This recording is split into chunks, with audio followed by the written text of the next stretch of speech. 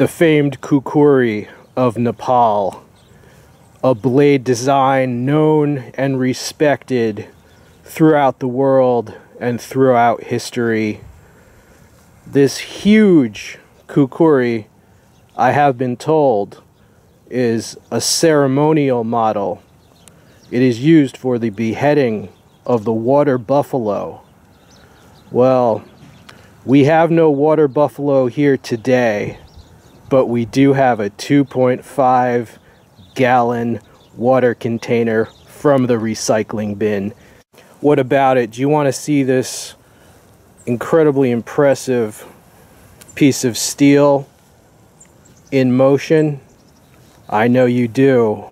And just to show you how large this particular one is, here's my hand. Uh, yes. Okay. Let's roll in the carnage.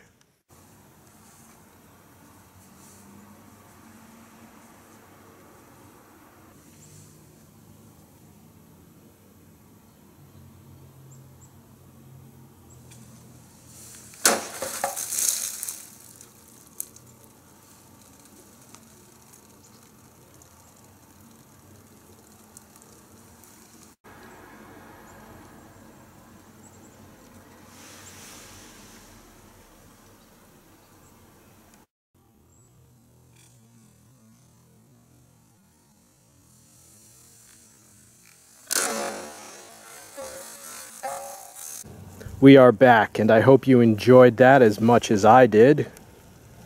One last look at this mega khukuri.